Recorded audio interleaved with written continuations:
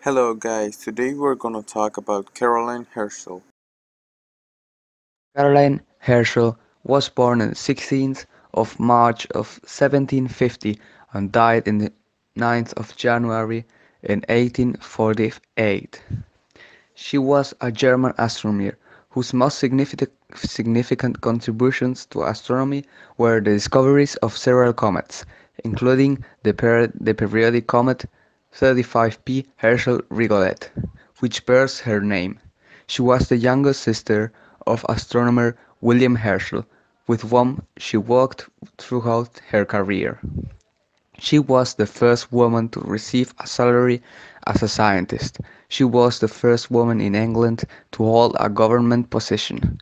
She was the first woman to be awarded a gold medal of the Royal Astronomical Society in 1828 and to be named an honorary member of the Royal Astronomical Society in 1835 with Mary Somerville.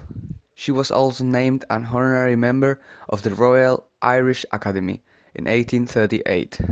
The King of Prussia presented her with a gold medal for science on the occasion of her 960th birthday in 1846.